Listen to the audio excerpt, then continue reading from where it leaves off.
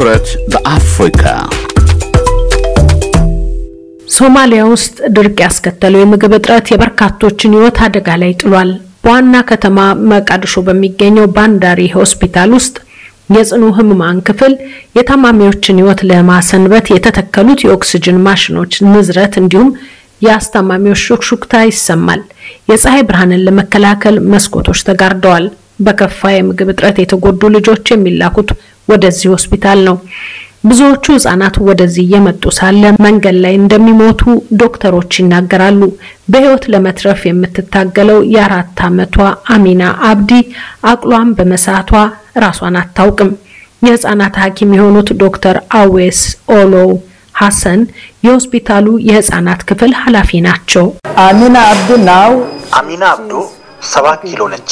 በጤናዋ ቢሆን 16 ኪሎ መመዘን ነበረባት። ሊኖራት ከሚገባው ኪሎ 50 በመቶውን አጥታለች። እነዚህ በድርቅ የተጎዱ ሰዎች ናቸው። በከፋ የምግብ እጥረት ምክንያት ለህይወት አስጊ በሆነ ሁኔታ ላይ ሆና ነው ወደዚህ የመጣችው። ራሷን ስታለች። ሺስን ኮማ የአሚና እናትና አክስት ካለፈው ዓመት ጥር ወር አንስቶ ሶስት ልጆቻቸውን በሞት ተነጥቀዋል። የተባበሩ መንግስታት ድርጅት እንደሚለው ሶማሊያ ውስጥ በየቀኑ በየደቂቃው በአማካኝ በምግብ እጥረት የተጎዳ አንድ ልጅ ሐኪም ቤት ይገባል። ሶማሊያ በአርባ ዓመታት ውስጥ ያልታየ ድርቅ ከፍተኛ ጉዳት እያደረሰባት ነው። ለአምስት ተከታታይ ጊዜ የዝናብ ወቅቱ ይስተጓጎላል የሚል ፍርሃትም አሁንም አለ። ከሰባት ሚሊዮን በላይ ህዝብ የምግብ እርዳታ ፈላጊ ነው። የአሚና ቤተሰቦች አርብቶ አደሮች ነበሩ። እርሻዎችና ከብቶች ነበሩ። ሆኖም በድርቁ ምክንያት ሁሉን አጣን። ለሶስት ዓመታት በድርቅ ውስጥ ነን። ድርቁ ሲከፋ አካባቢያችንን ትተን ወደ ከተማ መጣን። የሚሉት የአሚና አክስት አርዳ መሐመድ ኡስማን ናቸው። ድርቁ ብቻም አይደለም የሶማሊያ አርብቶ አደሮችን ለችግር የዳረገው። አሚና በተኛችበት ሐኪም ቤት ሌላ አንድ አባትም የሁለት ወር ጨቅላ ልጁን ሩቂዮን ይዞ ተቀምጧል። ስሙ እንዳይጠቀስ የጠየቀው ይህ አባት ማዕከላዊ ዱልዱግ ግዛት ውስጥ በግብርና ኑሮውን ይገፋ ነበር። ሆኖም የአሸባብ ታጣቂዎች መሬቱን ስለነጠቁት ለመሰደድ ተገደደ። ሰዎች በጣም ያስቸግራሉ። ከብቶቻችንን ወስደው ሲያበቁ ከነርሱ ጋር እንድንሰለፍ ይጠይቁናል። እንዲህ ያለ ችግርን ተጋፍጠናል። ከነርሱ ጎን ሆነን እንድንዋጋም ይነግሩናል። በሌላ በኩል ከብቶቻችን አልቀዋል። ይህም ሌላው ችግር ነው። ከአልቃይዳ ትስስር እንዳለው የሚነገርለት ይህ ቡድን በሶማሊያ ገጠር ሰፋ ያለ ስፍራን ተቆጣጥሯል። የሩቅዮ አባት እንደተናገሩት አካባቢያቸው ለ13 ዓመታት በዚህ ቡድን ስር ነው። ከዘመዶቻቸው እንደተረዱትም ድርቁ እየከፋ ሲሄድም ችግሮች እየተባባሱ ሰዎችም ለረሃብና ለውሃ እጥረት ተጋልጠዋል። እንዲህ ባለ ስፍራ ደግሞ እርዳታ እንደሌለ መንግስትም ወደዛ እንደማይሄድ ታጣቂ ቡድንም ማንንም እንደማይረዳም ተናግረዋል። ቤ በሚባለው ግዛትም በድርቅና ግጭት ምክንያት 1.6 ሚሊዮን ሶማሊያውያን በቅርቡ ከቤት ንብረታቸው ተፈናቅለው አቅራቢያቸው ወደሚገኘው ባይዶዋ ተሰደዋል። የባይዶዋ ከተማ ከንቲባ አብዱላሂ አሊ ዋቲን እንደሚሉት ለመጠለያነት የተዘጋጀው ስፍራ እስከ መጪዎቹ ሁለት ወራት ድረስ አንድ ሚሊዮን ሕዝብ ሊያስጠጋ ይችላል። ሀዎ አይዛክ ሞአሊም ከአምስት ልጆቻቸው ጋር በዚህ ስፍራ በድንኳን ውስጥ ተጠልለዋል። የሀምሳ ዓመቷ ወይዘሮ ቤታቸውን ጥለው ለመሰደድ የተገደዱት ግመሎቻቸው በውሃ ጥም በማለቃቸው ነው። በረሃብ ምክንያት ወደዚህ መጠለያ ከመጣን ቆየ። ሆኖም እስካሁን ምንም ያገኘነው እርዳታ የለም። አልፎ አልፎ ነው ምግብ ወይንም ውሃ የሚሰጠን። በዚህም በእውነቱ እየታገለ ነው። ከጥቂት ሳምንታት በኋላ ሀሰን አይዛክ የተባለው ልጃቸው በትክትክ ተያዘ። ወደ ላይ ወደ ታች ይለው ጀመር። በመጠለያው ስፍራ የተሰጠው ኪኒንም አልረዳውም። እናም አረፈ። የሞተው በድርቁ ምክንያት ነው። ከተቀበረ አሁን 15 ቀን ሆነው። ስምንት ዓመቱ ነበር። እኚህ እናት ለሞተው ልጃቸው ብዙ የሚያዝኑበት ፋታ አላገኙም። ሌሎቹ ልጆቻቸውን ሞት እንዳይነጥቃቸው አይናቸውን በእነሱ ላይ አድርገው ለማትረፍ ይጥራሉ። የተባበሩ መንግስታት የህፃናት መርጃ ዩኒሴፍ ካለፈው ዓመት የጥር ወር አንስቶ እስካሁን ሶማሊያ ውስጥ 964 ልጆች ህይወት መቀጠፉን አመልክቷል። በከፋ የምግብ እጥረት የተጎዱ ግማሽ ሚሊዮን ህጻናት አሉ። እነዚህ ተገቢውን እርዳታ በሰዓቱ ማያገኙ ከሆነ በቀላሉ ይሞታሉ ይላሉ በሶማሊያ የዩኒሴፍ ተጠሪ ዋፋ ሰኢድ። የተባበሩ መንግስታት ድርጅት ሶማሊያ ውስጥ ሰብአዊ እልቂት እንዳይደርስ ለእርዳታ ያስፈልገኛል ሲል ከጠየቀው አንድ ቢሊዮን ዶላር ያገኘው ግማሹን ብቻ መሆኑንም አመልክተዋል። ምንም እንኳን አንዳንድ የረድኤት ሰራተኞች የረሃብ ይዞታው መክፋቱን ቢናገሩም የሶማሊያ መንግስት ግን ሀገሪቱ አስከፊ ረሃብ ውስጥ መሆኗን ገና አላወጀም።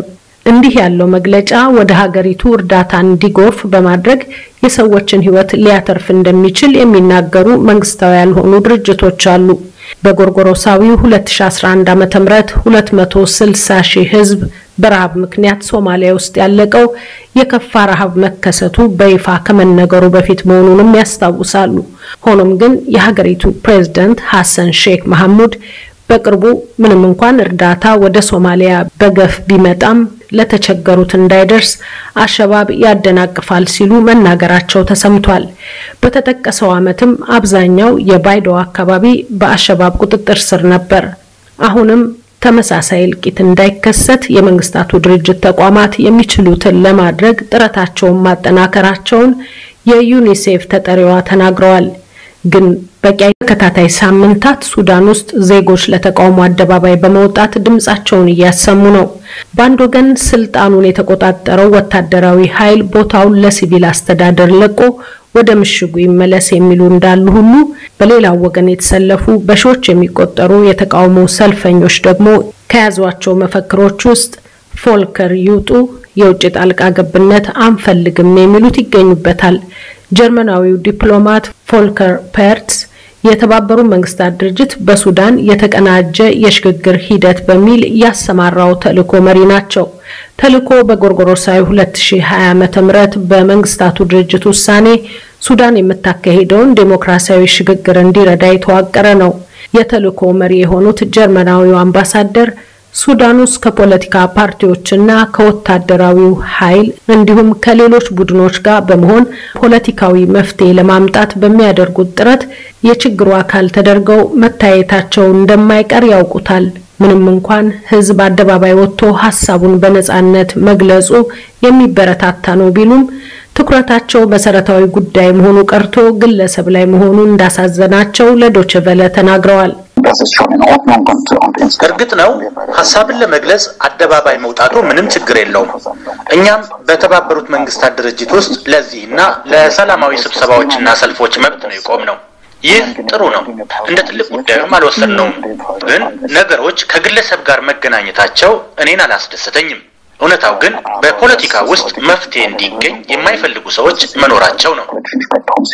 እሳቸው እንደሚሉት ባለፉት ጥቂት ሳምንታት ወደ 2500 የሚሆኑ ሰዎች በሱዳን ዋና ከተማ ካርቱም ውስጥ ከሚገኘው የተባበሩ መንግስታት ድርጅት ጽህፈት ቤት ደጃፍ የተቃውሞ ሰልፍ አድርገዋል። በዚህ ሳምንት መጨረሻም ተመሳሳይ ሰልፍ ይኖራል ብለው ይጠብቃሉ። በጎርጎሮሳዊ 2019 ዓ.ም የሱዳን የረዥም ዓመታት አምባገነን መሪ ኦማር አልበሽር ከስልጣን ሲወገዱ ሲቪሉንና ጦር ኃይሉን ያካተተ የሽግግር መንግስት ተመስርቶ ነበር። በወቅቱ ሱዳን ወደ ሲቪል አስተዳደር ልትሸጋገር ነው በሚል ተስፋ ተጥሎበት ምርጫም በመጪው ጎርጎሮሳዊ ዓመት 2023 ለማካሄድ ታቅዶ ነበር። ሆኖም ባለፈው ዓመት ጥቅምት ወር ላይ የሽግግር መንግስቱን መንበር የገለበጠው ወታደራዊ ኃይል ዳግም ስልጣኑን ያዘ። በዚህ መዘዝ በአሁኑ ወቅት ጠቅላይ ሚኒስትር ወይም ካቢኔ የሌላት ሱዳን የውጭ መዋለ ንዋይ ፍሰት የዕዳ ቅነሳም ሆነ የልማት እርዳታው በመቆሙ ኢኮኖሚዋ ከባድ ችግር ላይ ወድቋል። የጦር ኃይሉ ስልጣን ከያዘ ወዲህ በሀገሪቱ ዴሞክራሲ እንዲሰፍን የሚታገሉ ሲቪል ቡድኖች በአደባባይ የሚያደርጉት ተቃውሞ ቀጥሏል። እንዲያም ሆኖ ወታደራዊው ኃይል ሆነ ዴሞክራሲያዊ ስርዓት ሱዳን ውስጥ እንዲኖር የሚታገሉ ቡድኖች የተባበሩ መንግስታት ድርጅት በሱዳን የተቀናጀ የሽግግር ሂደት በሚል ያሰማራውን ተልዕኮ አልተቃወሙም ነው የሚሉት የተልዕኮ መሪ ጀርመናዊው ዲፕሎማት።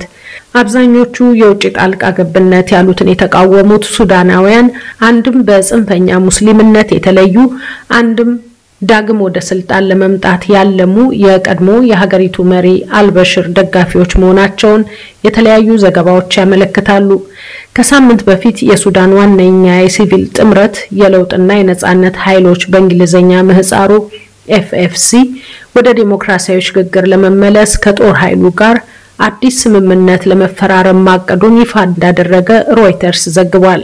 አምባሳደር ፐርተዝም አሁን የተሻለ ነገር እየታየ ነው ይላሉ። አሁን ያለውን ሁኔታ የዛሬ ዓመት ከነበረው ጋር ስናነጻጽረው ነገሮች አሁን ተሻሽለዋል። ለአንድ ዓመት ያህል ሁሉም ባለበት ደርቆና አንደኛው ሌላኛውን ቡድን ይገፋ ነበር። አሁን የሆነ ነገር እየሆነ ነው። እናም ነገሮችን ወደ ማቻቻል እየተደረሰ ነው። ምንም እንኳን በዚህ ጊዜ ከሆነ ስምምነት ላይ መድረስ ቢቻልም ሱዳን ከአንደኛው የፖለቲካ አጣብቂኝ ወደ ሌላኛው እየገባች መሆኑን ነው መቀመጫውን ካርቱም ያደረገው የፖለቲካ ተንታኞች ቡድን አማካሪና የሱዳን ዴሞክራሲያዊ ሽግግር ጉዳይ ምሁር ኮሎድ ካሂር የሚናገሩት። አሁን በጉዳዩ ላይ አዲስ አይነት አጣብቂኝ እየታየ ነው። በአንዱ ወገን የኤፍኤፍሲ እና የጀነራሎቹን ስምምነት የሚደግፉ ሰዎች አሉ። በሌላ በኩል ደግሞ ይሄ የጁባ የሰላም ውል ፈራሚዎች የሚባሉት እንደ ጅብሪል እና ቲጃኒ እንዲሁም ከምስራቅ ሱዳን የሆኑት ሰዎች ይህንን ስምምነት አልፈረሙም። እዚህ ላይ ነው አዲሱ አጣብቂኝ። ይህ ደግሞ የአጣብቂኙን ባህሪ ሁሉንም ይለውጠዋል። ምን ማለት ነው? ስምምነቱ በራሱ አስተማማኝ ነው ማለት አንችልም። በነገራችን ላይ ከሰኔ ወር ጀምሮ የዩናይትድ ስቴትም አቋም ነው። ለዚህም ነው አጣብቂኙ ባህሪ ተለውጧል ማለት የምንችለው። ካሂርም ሆኑ ጀርመናዊው አምባሳደር ሱዳን ውስጥ አሁን የፖለቲካ ተዋናዮቹ የተስማሙበትን ሀሳብ የሚንድ ነገር እንዳለ ያስባሉ። ይህም ለምሳሌ በሽግግር መንግስት ወቅት ማን የጠቅላይ ሚኒስትርነቱን ቦታ ይያዝና የጦር ኃይሉን ማሻሻያው እቅድ እንዴት ይሁን የሚሉት ጥያቄዎችን ያጠቃልላል ባይ ናቸው። አሁን ባለው እቅድ የሚመሰረተው የሽግግር መንግስት የሁለት ዓመት ዕድሜ እንዲኖረው ነው የታሰበው። ካሂር ግን የታሰበውን ሁሉ ለማሳካት ጊዜው አጭር ሊሆን እንደሚችል ይገምታሉ። በዚያም ላይ የሱዳንን ጦር ኃይል መሪዎች ሚና በቀላሉ ማየት እንደማይገባም የሚናገሩ ጥቂት አይደሉም። የጦር ኃይሉ ቀደም ሲል ሱዳን ውስጥ ዴሞክራሲያዊ አስተዳደር እንዲመጣ እንደሚሻ ሲገልጽ ቢቆይም ዋላ ደር ብሎ ሲቪሎች የተካተቱበትን የሽግግር መንግስት በኃይል ከስልጣን ማስወገዱ ይታወሳል። የሱዳን ፖለቲካ ተለዋዋጭ መሆኑን የሚናገሩት ካሂር በበኩላቸው ባለስልጣናት ህዝብ እያማከሩ ለመስራት ካልሞከሩ የሚደረገው ውልም ሆነ ማንኛውም ፖለቲካዊ ሂደት የትም አይደርስም ባይ ናቸው። አድማጮች፣ በሶማሊያና ሱዳን ወቅታዊ ጉዳዮች ላይ ያተኮረው የዕለቱ ትኩረት በአፍሪቃ ጥንቅር አበቃ። ሸዋዬ ለገሰ ነኝ። መልካም የሳምንት መጨረሻ